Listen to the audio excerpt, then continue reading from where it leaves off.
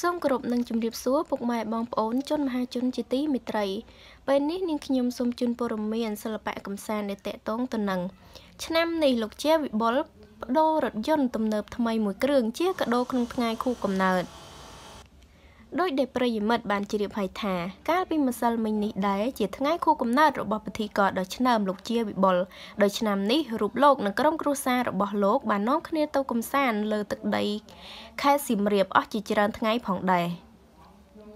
យ៉ាងណាមិញ អ្វីដែលរឹតកាន់តែពិសេសក្នុងថ្ងៃគូកំណើតឆ្នាំនេះតារាប្រុសពូកែខាងថ្វីមាត់លោកជាវិបុលនិងកញ្ញាគង់សុជាតិដែលជាភរិយាជាទីស្រឡាញ់របស់លោកបានសម្រេចចិត្តជ្រើសរើសកាដូរថយន្តទំនើបថ្មីមួយគ្រឿងដែលជាប្រភេទរថយន្តបែបលក្ខណៈគ្រួសារតែម្ដង ហើយរីឯចំពោះតម្លៃវិញក៏មិនធម្មតាដែរ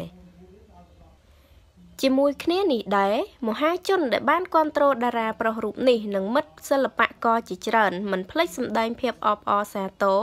និងថែមទាំងបានជូនពរដល់តារាប្រុសរូបនេះនៅក្នុងថ្ងៃខួបកំណើតរបស់លោកជាហូហែនៅក្នុងបណ្ដាញសង្គមផងដែរចាក្នុងថ្ងៃខួបកំណើតលោកជាវិបុលឆ្នាំនេះលោកបានទិញឡានមួយគ្រឿងដើម្បីធ្វើជាកាដូក្នុងថ្ងៃខួបកំណើតរបស់ខ្លួនផងដែរក្នុងគ្រួសាររបស់គាត់មើលទៅមានសុភមង្គលមែនតែនចា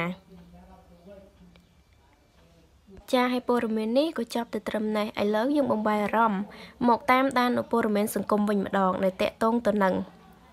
កុំចេះតែហ៊ានឥឡូវ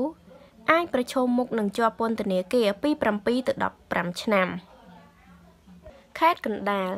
នៅល្ងាចថ្ងៃទី24សីហាឆ្នាំ2018នេះលោកអ៊ីសវ៉ាន់ចៅក្រមស៊ើបសួរសាលាដំបងខេត្តកណ្ដាលបានសម្រេចចេញដីកាឃុំខ្លួន ជាបណ្ដោះអាសន្នហើយក្រុមជើងខ្លាំងខាងជិះម៉ូតូដេញបំបុករួច ហើយក៏ទាត់ធាក់បន្ថែមរហូតដល់ជនរងគ្រោះស្លាប់ក្រុមបត់ចោតហឹង្សាមានស្ថានទម្ងន់ទោសដោយសារមរណភាពជនរងគ្រោះដែលប្រព្រឹត្តទៅ នៅចំណុចរវងមូលតាខ្មៅភូមិតាខ្មៅសង្កាត់តាខ្មៅក្រុងតាខ្មៅខេត្តកណ្ដាលកាលពីថ្ងៃទី22សីហាឆ្នាំ2018តាមមាត្រា224នៃក្រមព្រហ្មទណ្ឌបទល្មើសនេះត្រូវកំណត់ផ្ដន់ទានទោសចាប់ពី7ឆ្នាំទៅដល់15ឆ្នាំជនត្រូវចោទទី1ឈ្មោះស្លេះរុំម៉ាលីអាយុ17ឆ្នាំ ទី2ឈ្មោះលាស់ខារីអាយុ18ឆ្នាំ ទី3ឈ្មោះអាលីមីសានអាយុ17ឆ្នាំ ទី4ឈ្មោះម៉ាត់ស្មាអែលអាយុ15ឆ្នាំ ពួកគាត់គឺជាជនជាតិខ្មែរឥស្លាម ដែលមានទីលំនៅនៅភូមិព្រែកតាពៅមួយ សង្កាត់ដើមមាន ក្រុងតាខ្មៅខេត្តកណ្ដាលមុខរបរមិនពិតប្រាកដជើងខ្លាំងទាំង4នាក់បានជិះម៉ូតូដេញបុកយុវជនម្នាក់ បន្ទាប់មកវ័យទាត់ធាក់បន្ថែមបណ្ដាលឲ្យយុវជននោះ មានរបួសខ្លាំងជាទម្ងន់រួចក៏ត្រូវបានក្រុមគ្រួសារដឹកទៅព្យាបាលនៅមន្ទីរពេទ្យកាល់ម៉ែតដោយសារតែជនរងគ្រោះមានរបួសក្រមក្នុងធ្ងន់ធ្ងរពេកមិនអាចសង្គ្រោះបានក៏បានដាច់ខ្យល់ស្លាប់តែម្ដងចាជើងខ្លាំងទាំង4នាក់នេះអាចប្រឈមនឹងជាប់ពន្ធនាគារពី7ឆ្នាំទៅ15ឆ្នាំផងដែរ ចាក៏សូមចូលរួមសោកស្ដាយចំពោះក្រុមគ្រួសារ